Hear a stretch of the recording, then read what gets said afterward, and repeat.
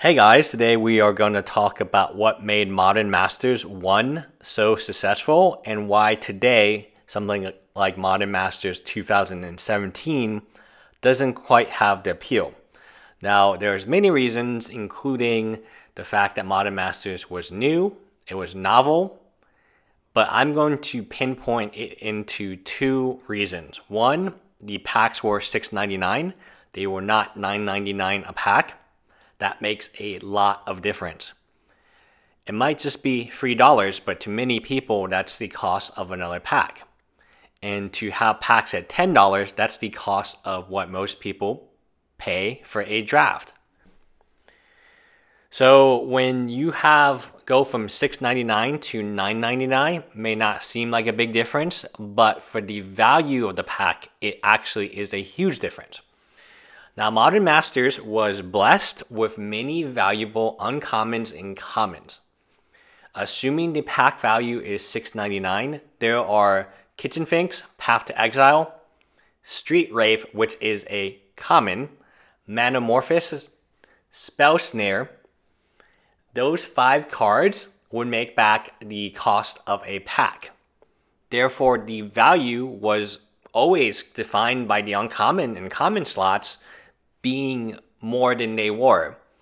So when we look at today's iconic masters, especially eternal masters, it just does not have the value that modern masters has. Plus the fact when you increase the price from $6.99 to $9.99, almost a 50% increase in price, and have less potentially valuable uncommons and commons, there's more volatility.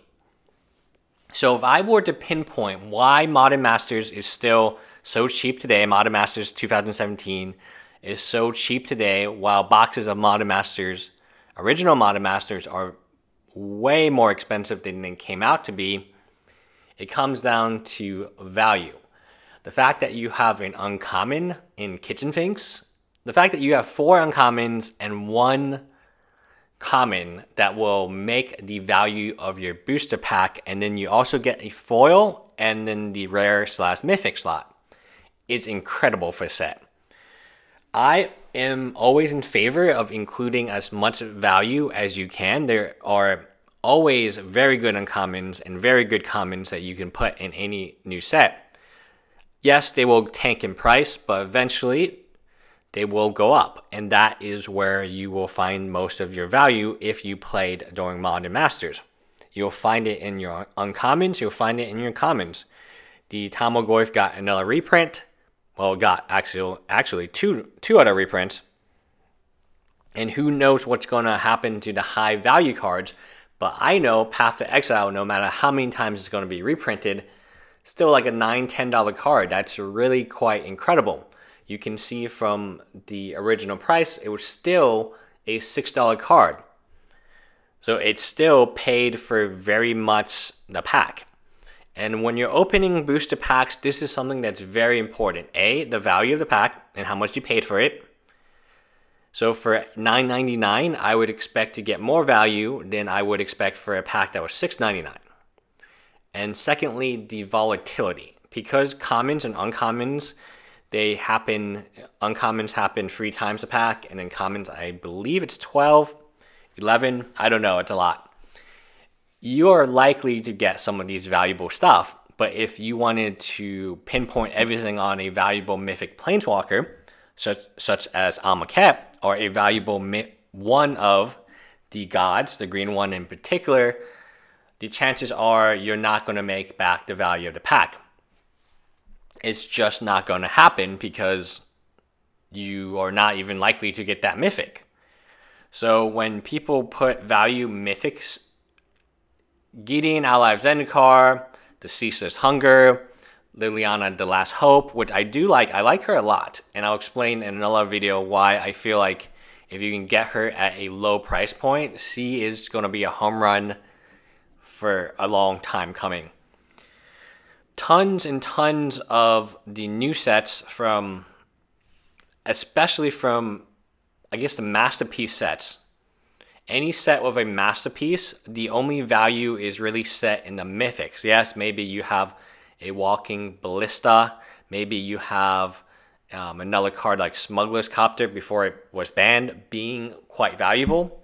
But the majority of your value of cards over $10 will be in mythics. Therefore, for you to open a pack of $4, you have to hit one of those mythics. And you might say, whoa, what about the rares and uncommons? There is only one main exception to that, and that's Fatal Push and Aether Revolt. It's a big one because it's uncommon, but it is that. It is an exception. My solution is to make very good uncommons and uncommons. They know what is valuable. It's not like they don't know what the secondary market is, given what they choose to reprint and given what they choose to put in certain. It's not by random they chose Kaalia the Vast to reprint. If they picked any other deck in Commander, original Commander, that was not Kaalia, I don't think uh, Commander Anthology sells nearly as well. So Manamorphose, seven dollars, and that's what you like to see because if you open a box of this and then you traded the rares and mythics or you did something with it, you would still have these cards today. Like these are stashed away in bulk and they have been steadily increasing and increasing in price and that has that is what makes modern masters 1 so much better. A 6.99 a pack.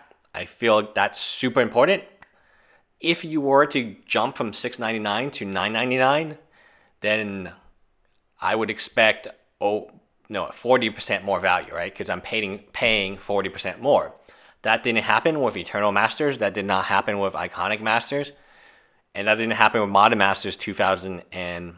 Oh, well, that's not going to happen with Iconic Masters. Wow, I already assumed too much, right? Oh, uh, Modern Masters 7, 2017 and 2015. You don't see the commons and uncommons being as good, and I don't see them long term. So people say that Amonkhet is a powerful set. They say that it's really awesome and you know everyone loves it. Theme wise for casual players, it's great. But if you had money to put into something, I would not put it into Amonkhet.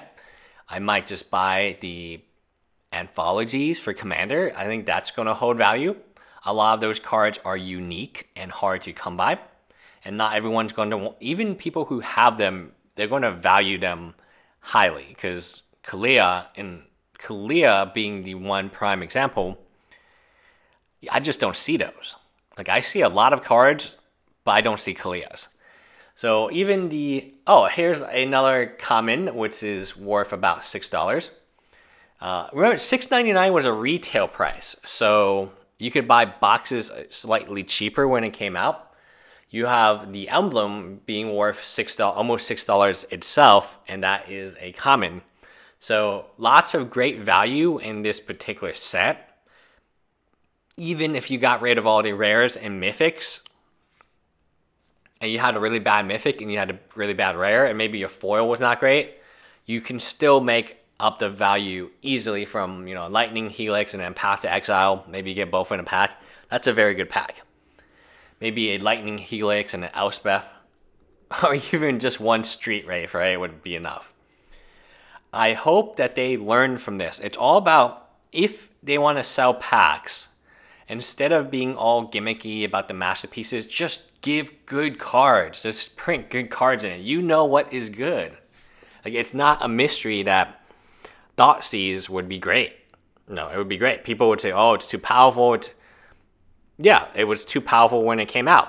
You had mono black dominate, right? you will always have a number one deck. You will over, always have a Aetherworks Marvel deck, which is more dominant, in my opinion, than Saheeli Rai. Crazy Cat combo deck. And which is more dominant, in my opinion, than the Smuggler Copter decks. Although Smuggler Copter, you could say, was in a lot of decks. Even uh, Eternal Witness is five bucks. So, like, you could hit Eternal, Path, and then Lightning Bolt, and that is just insane, right? our Kitchen Finks, Street Wraith, Path, some combination of all these cards I'm showing you, and you would be super happy regardless of, and you would be lost, less volatile. So here's the situation. It used to be um, a lot of my friends open packs and they understood that they're not going to get their value back. And the more packs they open, just like when you go to casino, if you spend one hour in casino, maybe you win some money. If you spend 10 hours at a casino, probably not. If you spend 10 days at a casino, yeah, the house always wins because that small percentage, let's say in blackjack, you play perfectly. You have a 49% chance of winning. Well, one hand, that's not bad. It's almost break even. But if you play a thousand hands, eventually you will lose because of probability. It's like coin flipping and stuff. So I like lava spike is five bucks. I mean, you could get you could get a lava spike and that would be probably almost enough for the rest of the I, it's incredible just the value I was trying to figure out why I don't like Modern Masters 2017 when I'm, you know, all the values in the fetch lands and the mythics and everything looks good, right? And I don't know. I don't know why I'm not buying more of it at $180 a box because that seems very good to me. And why, like, when Modern Masters came out, no one could get a hold of it. Yeah, you might say supply, there's lots of demand, very, very little supply, but why has it stood the test of time when I don't believe Modern Masters 2017 will, will stand the test of time.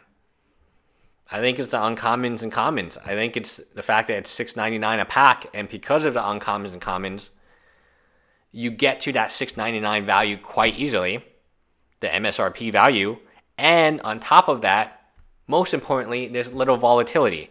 People are always told to buy singles. You never hear people saying, oh, the financially good decision is to buy booster packs. It's not.